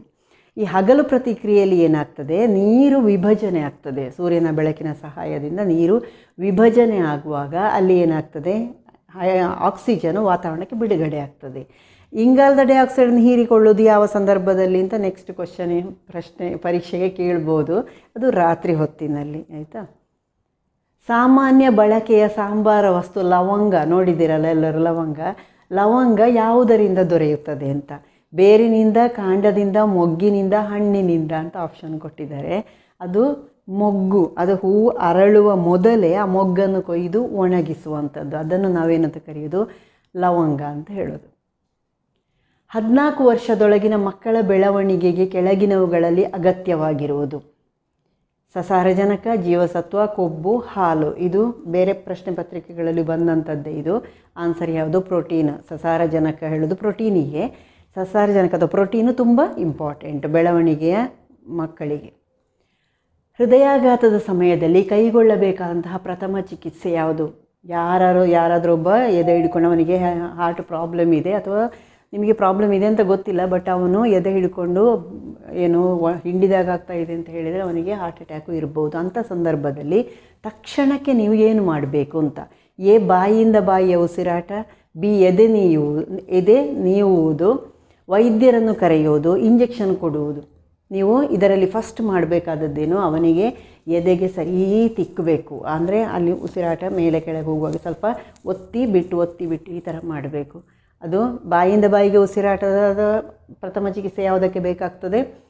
ನೀರಿನಲ್ಲಿ ಬಿದ್ದು ನೀವು ಉಸಿರಾಡಲಿಕ್ಕೆ ಆಗದೇ ಇದ್ದಂಥ ಸಂದರ್ಭಗಳಲ್ಲೆಲ್ಲ ಅಂಥದ್ದು ಬೇಕಾಗ್ತದೆ. ಆದರೆ ಎದೆ ನೀವುವುದು ಯಾವಾಗ ಹೃದಯಾಘಾತದ ಸಮಯದಲ್ಲಿ ಇದನ್ನು ಫಸ್ಟ್ ಮಾಡಬೇಕು ನೀವು. ಸಮುದ್ರ ನೀರಿನಿಂದ ಸ್ವಚ್ಛ ನೀರನ್ನು ಹೀಗೆ ಪಡೆಯಬಹುದು. ಸಮುದ್ರ ನೀರು, ಉಪ್ಪು ನೀರು. ಅದರಿಂದ ನಿಮಗೆ ಸ್ವಚ್ಛವಾದ ನೀರು ಕುಡಿಯುವ ನೀರು ಬೇಕು ಅಂತ ಇದ್ದರೆ ಅದನ್ನು ಯಾವ ರೀತಿ ಮಾಡ್ಬೋದು ಅಂತ. ಸೋಸುವಿಕೆ, ಬಟ್ಟಿ ಇಳಿಸುವಿಕೆ, ಆವಿಯಾಗುವಂತೆ ಮಾಡೋದು ಭಾಗಶಃ ಬಟ್ಟಿ ಇಳಿಸುವಿಕೆ. ಸೋಸುವಿಕೆ ಯಾವುದಕ್ಕೆ ಬಳಸೋದು ನಾವು? ಕಸ ಎಲ್ಲ ಇದ್ದಾಗ ಅಥವಾ ತಳದಲ್ಲಿ ಏನಾದರೂ ಕಶ್ಮಲಗಳೆಲ್ಲ ಇದ್ದಾಗ ಅದನ್ನು ನಾವು ಸೋಸುವಿಕೆಯಲ್ಲಿ ಸರಿ ಮಾಡೋದು ಇಲ್ಲಿ ಉಪ್ಪು ನೀರು ಉಪ್ಪು ನೀರು ದ್ರಾವಣ ಆಗಿರ್ತದೆ ಅಲ್ವಾ? ಹಾಗಾಗಿ ಇಲ್ಲಿ ಯಾವುದಾಗಬೇಕು? ನಿಮಗೆ ಉಪ್ಪು ಬೇಕಾದದ್ದು ಅಂತ ಹೇಳಿದರೆ ಆನ್ಸರ್ ಯಾವುದು? ಆವಿಯಾಗಿಸೋದು ನೀ ಅದನ್ನು ಚೆನ್ನಾಗಿ ಕುದಿಸಿ ಇಂಗಿಸುವುದು ಅಥವಾ ಆವಿಯಾಗಿಸುವುದು ಅಂತ ಹೇಳ್ತೇವೆ. ಆಗ ಏನಾಗ್ತದೆ? ಅಡಿಯಲ್ಲಿ ಉಪ್ಪು ನಿಲ್ತದೆ. ಇಲ್ಲಿ ನಿಮಗೆ ಬೇಕಾದದ್ದೇನು? ನೀರು ಅಲ್ವಾ? ಹಾಗಾಗಿ ಬಟ್ಟಿ ಇಳಿಸಬೇಕೆ. ಬಟ್ಟಿ ಇಳಿಸಬೇಕೆ ಅಂದರೆ ಏನು? ಚೆನ್ನಾಗಿ ಒಂದು ಬದಿಯಲ್ಲಿ ಕುದಿಸೋದು ಅಲ್ಲಿ ನೀರು ಆವಿಯಾಗಿ, ಆ ಆವಿ ಇನ್ನೊಂದು ಪಾತ್ರೆಯಲ್ಲಿ ತಣ್ಣಗಾಗಿ ಸಂಗ್ರಹ ಆಗುವ ಹಾಗೆ ಮಾಡೋದು. ಈಗ ನಿಮಗೆ ಇಲ್ಲಿ ಉಪ್ಪು ಸಿಕ್ಕಿತು, ಎಲ್ಲಿ ಕುದಿಸಿದ ಪಾತ್ರೆಯಲ್ಲಿ ಉಪ್ಪು ಸಿಗ್ತದೆ, ಇಲ್ಲಿ ಸಂಗ್ರಹಣಾ ಪಾತ್ರೆಯಲ್ಲಿ ನೀರು ಸಿಗ್ತದೆ, ಉಪ್ಪು ರಹಿತವಾದಂತಹ ನೀರು ಸಿಗ್ತದೆ, ಬಟ್ಟೆ ಇಳಿಸಿದ ನೀರು ಸಿಗ್ತದೆ. ಅರ್ಥ ಆಯ್ತಲ್ಲ? ಆ್ಯಕ್ಚುಲಿ ಅದು ಕುಡಿಲಿಕ್ಕೆ ಯೋಗ್ಯ ಅಲ್ಲ ಯಾಕಂದರೆ ಲವಣಗಳಿರುವುದಿಲ್ಲ, ಬರೇ ನೀರು ಮಾತ್ರ ಇರ್ತದೆ, ನೀರಾವಿ ಅಲ್ವಾ? ಓಕೆ ಭಾಗಶಃ ಬಟ್ಟಿ ಇಳಿಸುವಿಕೆ ಅಂದ್ರೇನು? ನಾನು ಬೇರೆ ಯಾವುದೋ ವಿಡಿಯೋದಲ್ಲಿ ಹೇಳಿದ್ದೇನೆ. ಉದಾಹರಣೆಗೆ ಇದು ಆಂಶಿಕ ಬಟ್ಟಿ ಇಳಿಸುವಿಕೆ ಅಥವಾ ಭಾಗಶಃ ಬಟ್ಟಿ ಇಳಿಸುವಿಕೆ ಅಂದರೆ ಫ್ರ್ಯಾಕ್ಷನಲ್ ಡಿಸ್ಟಿಲೇಷನ್ ಪೆಟ್ರೋಲಿಯಮ್ಮಿನ ಶುದ್ಧೀಕರಣ ಎಲ್ಲ ಮಾಡುವಾಗ ಅಂದರೆ ಅಲ್ಲಿ ಏನಾಗಿರ್ತದೆ, ಎರಡು ಮೂರು ದ್ರವಗಳು ಒಟ್ಟಿಗೆ ಸೇರಿಕೊಂಡಿರ್ತದಲ್ಲ, ಮಿಶ್ರಣ ಆಗಿರ್ತದೆ.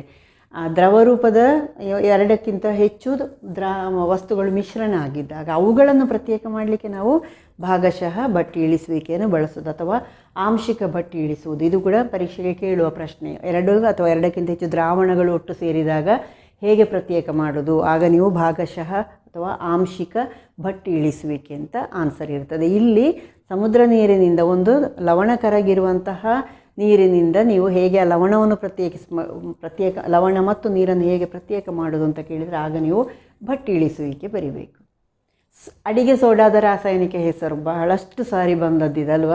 Sodium bicarbonate. ಇದು ಎರಡು ಸಾವಿರದ ಒಂಬತ್ತರಲ್ಲಿ ರಿಪೀಟ್ ಆದಂತಹ ಪ್ರಶ್ನೆ ಇದೀಗ. ಮೂರು ಪ್ರಾಥಮಿಕ ಬಣ್ಣಗಳು. ಪ್ರಾಥಮಿಕ ಬಣ್ಣಗಳು ಅಂದರೆ ಅದು ಆ ಬಣ್ಣಗಳನ್ನು ನೀವು ಬೇರೆ ಬಣ್ಣಗಳನ್ನು ಸೇರಿಸಿ ಆ ಬಣ್ಣ ಮಾಡಲಿಕ್ಕೆ ಆಗೋದಿಲ್ಲ. ಅಂಥದ್ದು ಯಾವುದು ಅಂತ? ನೀಲಿ ಹಸಿರು ಕೆಂಪು, ನೀಲಿ ಹಳದಿ ಕೆಂಪು, ಹಳದಿ ಕಿತ್ತಳೆ ಕೆಂಪು, ನೇರಳೆ, ಬೂದು, ನೀಲಿ.